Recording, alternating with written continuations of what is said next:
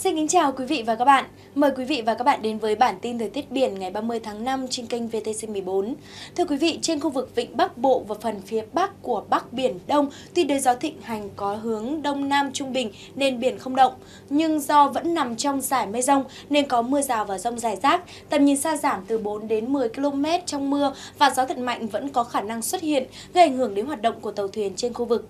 Trên các vùng biển thuộc khu vực Nam Biển Đông và các vùng biển ven miền duyên hải cực Nam Tổ quốc vẫn được thịnh hành bởi đới gió Nam đến Tây Nam Trung Bình.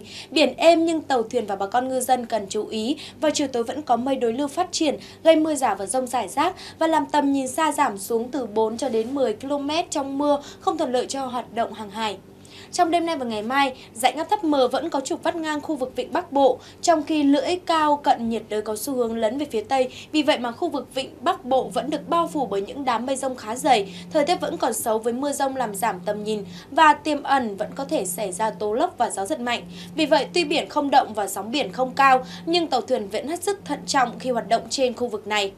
Ở khu vực Biển Đông cũng như các vùng biển ven bờ phía Nam được thực hành chủ yếu bởi đới gió Nam đến Tây Nam trung bình. Thời tiết ở phần phía Bắc ít mưa, nắng đẹp, thuận lợi cho hoạt động hàng hải. Tuy nhiên ở phía Nam của Biển Đông cũng như vùng biển ven bờ, vào chiều tối vẫn thịnh hành những đám mây rông gây ra mưa rào rải rác, cho nên bà con cần đề phòng có gió giật mạnh và tầm nhìn giảm do thời tiết xấu.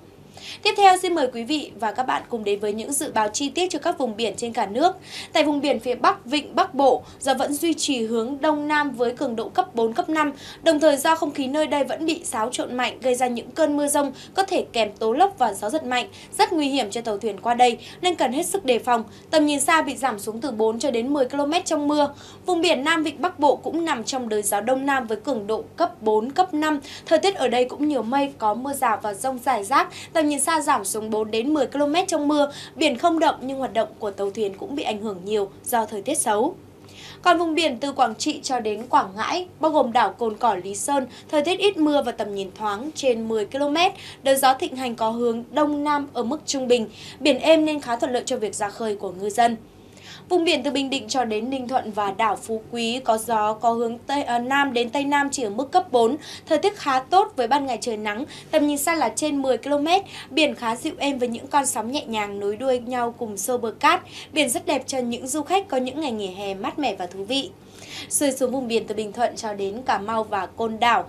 Và buổi sáng và trưa thì vùng biển nơi đây cũng ngập tràn trong nắng vàng với đới gió Tây Nam nhẹ cấp 4 nên sóng biển nhỏ và tầm nhìn xa trên 10 km. Tuy nhiên đến khoảng chiều và đêm, những đám mây rông được hình thành gây ra mưa rào và rông rải rác, khiến cho tầm nhìn trong mưa giảm xuống 4 đến 10 km. Vì vậy, tàu thuyền hoạt động trên khu vực cần chú ý đề phòng những cơn rông bất chợt. Vùng biển từ Cà Mau cho đến Kiên Giang, bao gồm đảo Phú Quốc, Thổ Chu, gió Tây Nam thổi đều nhẹ nhẹ nên trời yên biển lặng.